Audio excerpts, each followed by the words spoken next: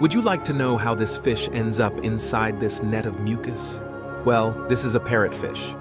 You see, living in reefs all around the world, parrotfish are susceptible to hungry parasites.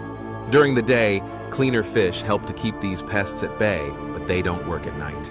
So before going to sleep each night, some species of parrotfish would build a transparent cocoon made of mucus secreted from special glands in their gills.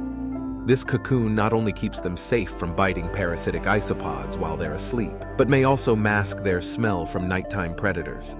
It also has been suggested that parrotfish may form these cocoons when they get injured or under high stress situations.